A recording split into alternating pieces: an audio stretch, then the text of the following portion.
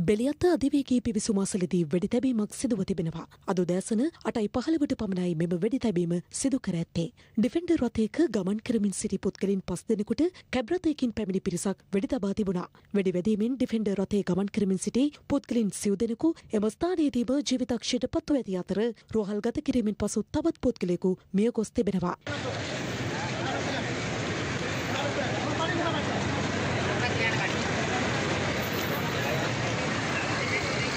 එ අනුව වෙඩි තැබීමෙන් පුද්ගලින් පස් දෙනෙකු ජීවිතක්ෂයට පත්ව ඇති බවයි පොලිසිය පවසන්නේ. අපේ ජනබල පක්ෂේ නායක සමන් පෙරේරා වෙඩි තැබීමෙන් මියගොස් ඇති බවයි වාර්තා වන්නේ. තංගල්ල මහෙස්ත්‍රාත් අධිකරණයේ විභාග වන ගහතර නඩුවක් සම්බන්ධයෙන් පෙනී සිටීමට අධිකරණය වෙත යමින් සිටියේදී මෙම පිරිසට වෙඩි තැබීම සිදු කර ඇති බවයි පොලිස් මාධ්‍ය ප්‍රකාශක ජ්‍යෙෂ්ඨ පොලිස් අධිකාරී නීතිඥ නිහල් තල්දුව පවසන්නේ. සිද්ධ සම්බන්ධයෙන් වැඩිදුර පරීක්ෂණ ක්‍රියාත්මකයි.